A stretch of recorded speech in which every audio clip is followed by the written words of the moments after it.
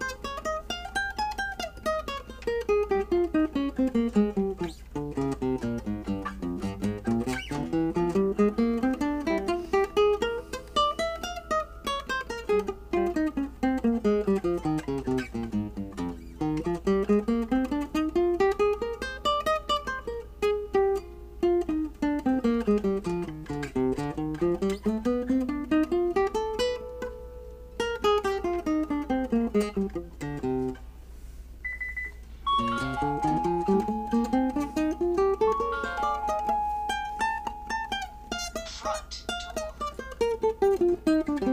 guitar.